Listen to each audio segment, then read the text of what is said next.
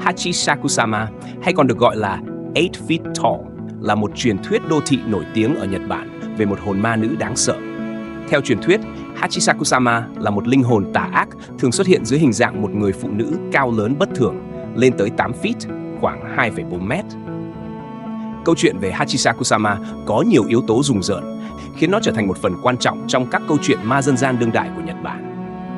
Nội dung truyền thuyết về Hachisakusama, ngoại hình Hachisakusama thường được miêu tả là một người phụ nữ cao bất thường, mặc áo dài trắng. Bà thường đội một chiếc mũ rộng vành hoặc một loại mũ rơm truyền thống. dáng vẻ của bà cao và gầy, gương mặt thường bị che khuất hoặc mờ ảo, tạo ra sự kinh hãi cho người nhìn. Âm thanh rùng rợn Một trong những dấu hiệu nhận biết sự xuất hiện của Hachisakusama là âm thanh kỳ quái mà bà tạo ra, một tiếng cười. "ô, po, vang lên đều đặn và vọng lại. Âm thanh này không chỉ làm người nghe sợ hãi mà còn là điềm báo cho việc ai đó sắp trở thành mục tiêu của bà. Đối tượng săn đuổi, Hachi Shakusama thường nhắm vào trẻ em, đặc biệt là các bé trai.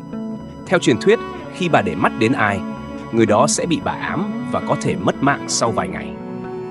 Những nạn nhân của bà thường không có cách nào trốn thoát nếu không có sự can thiệp từ những người hiểu biết về bà.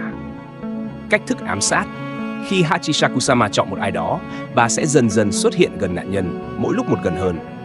Người bị ám sẽ cảm thấy như bị theo dõi và nghe thấy âm thanh họ liên tục. Nếu không được bảo vệ, họ sẽ biến mất mà không để lại dấu vết. Một trong những cách bảo vệ truyền thống là dùng các nghi thức thần đạo, Shinto, như treo bùa hộ mệnh hoặc dùng muối xung quanh nạn nhân để ngăn cản sự tiếp cận của bà. Nguồn gốc bí ẩn Không có nhiều thông tin rõ ràng về nguồn gốc của Hachisakusama một số câu chuyện cho rằng bà đã xuất hiện từ thời cổ đại và luôn ám ảnh các ngôi làng. Trong khi những người khác tin rằng bà là một linh hồn ma quái vô danh đã trở thành huyền thoại trong thời hiện đại. Truyền thuyết về Hachisakusama mang theo những yếu tố của nỗi sợ hãi về những hiện tượng siêu nhiên không thể giải thích, đồng thời thể hiện nỗi ám ảnh về các linh hồn cao lớn và mạnh mẽ trong văn hóa Nhật Bản.